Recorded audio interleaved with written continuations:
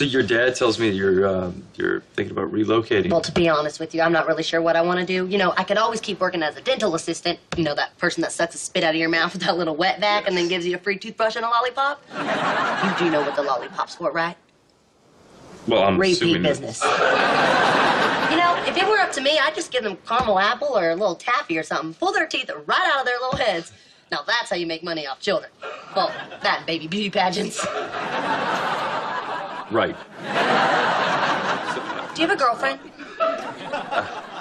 No, I do not. I just went through a breakup. Oh, you poor baby. I'm so sorry. Could you put some suntan lotion on my back? Uh.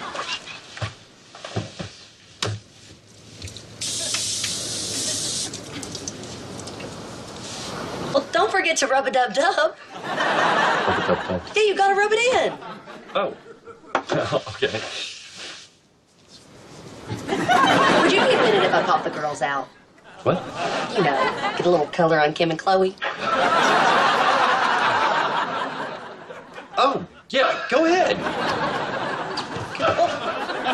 Where are you going? Uh, I just need to do this thing that I need to do. okay. Take care. Hey, I just got off the phone with your dad. He was just calling. Oh, Lord, that man can talk. I swear he doesn't even pause to take a breath. Do you have a sec? Sure. Okay, yeah. Have have a seat. Wow. This is a nice bed. I bet you could do some serious drilling on a workbench like this, huh? yeah. yeah. So you wanted to talk to me about something? Do you remember the last time that we saw each other? Dinner? No, silly. I'm talking about when I was like eight years old and you came to visit us and we all went to the state fair. Okay, I remember that. Remember you had to take me and my mom because my dad was working late and we ate cotton candy for dinner and then you won me that little stuffed pig in the squirt gun horse race? I used to practice my kissing on him.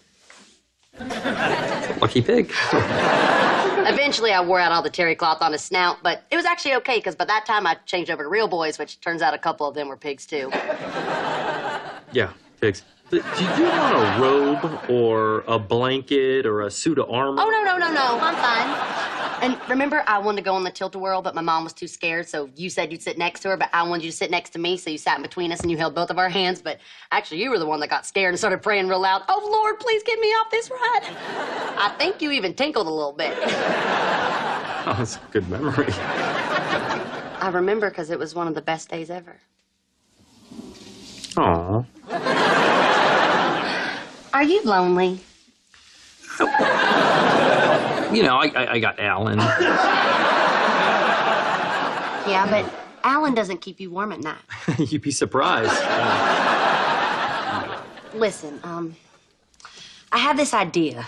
You know, you m- might think that it's kind of crazy. Okay. I was just thinking, you know, since you're single and I mean you're super hot and a really nice guy, Yeah.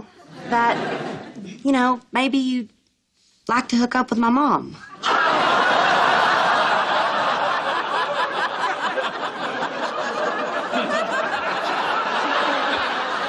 What? She's been all alone ever since my daddy ran off with that lady from the dry cleaners. You know, the one with that weird eye that won't wide open all the way? Probably from all them dry cleaning fumes. You know, we should have seen it coming. She gave him all the clothes that nobody claimed. He had like four tuxedos. Wait, you want to set me up with your mom? She kind of always had a thing for you, but she would kill me if I told you. Okay, Missy, I, I don't think that's Just a good think about it, okay? Okay. Great.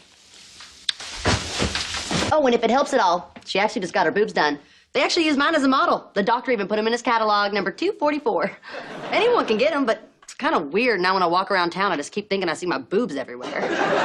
Good night. Her mom?